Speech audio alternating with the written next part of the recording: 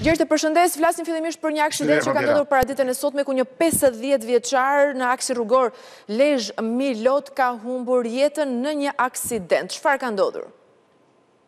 Në fakt bëhet fjalë për një furgon të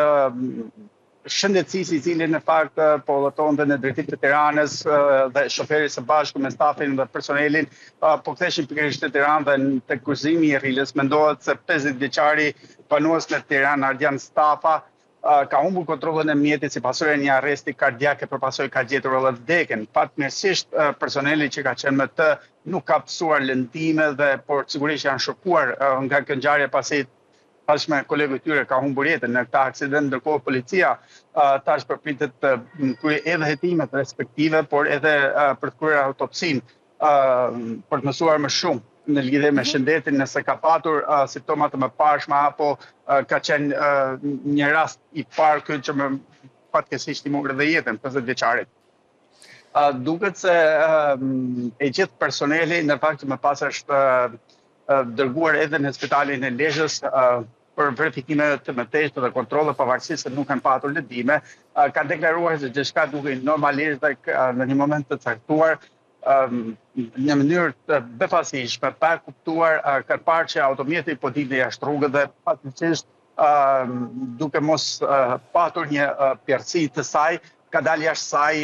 ndërkohë që 50 vjeçari Ardian Stafa pikërisht humbi dhe jetën. Duhet thënë se në fakt vetëm pak minuta më parë, le të themi ose një orë më parë, ishte një tjetër aksident që u regjistrua në qytetin e Lezhës, konkretisht në dalje të Lezhës përgjatë superstradës Lezhë Milot, mhm. ku tre automjete u përfshinë në një aksident që fatmirësisht nuk pati pasoja, por që krijoi një situatë problematike sa i përket trafikut të rënduar në një orar mjaft të ngarkuar me automjete dhe për të cilën u desh edhe ndërhyrja e policisë në mënyrë që trafiku të vijonte normalisht, por që pati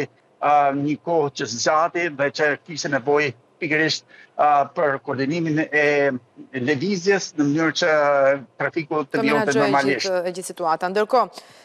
Gjergj po ashtu në Lezhë ka patur dhe aksione kundër kultivimit të bimëve narkotike, tre aksione të zhvilluara thuajse në 24 orë, brenda 24 orëve, në çfarë zonash dhe a ka persona të arrestuar? Po, në fakt është një operacion i zhvilluar, siç e thatë dhe ju gjatë 24 orëve të fundit në Kurbin dhe Mirditë, ku tashmë ka dhe persona 4 të arrestuar dhe 3 të shpallur në kërkim, ndërkohë që janë sekuestruar edhe 2706 fidanë të dyshuar narkotik kanabis sativa. Duket mhm. se policia në fakt kishte pasur informacione për pikërisht për këtë sasi të kultivuar dhe kishte ndërmarrë edhe aksionin e saj, por duket se në fakt ka tentuar që të ky informacion që posedonte policia në fakt në momentin që ka nisur aksioni është tentuar edhe të dekonspirohej, por që Duket se policia ka mundur ta neutralizojë menjëherë dhe bëhet fjalë pikërisht për shtetasin Është efektiv policie? është një punonjës që shërben tek zyra e informacionit dhe që duket se ky sipas policisë ka komunikuar pikërisht me me persona të tjerë që merreshin me kultivimin dhe bëhet fjalë siç e thashë për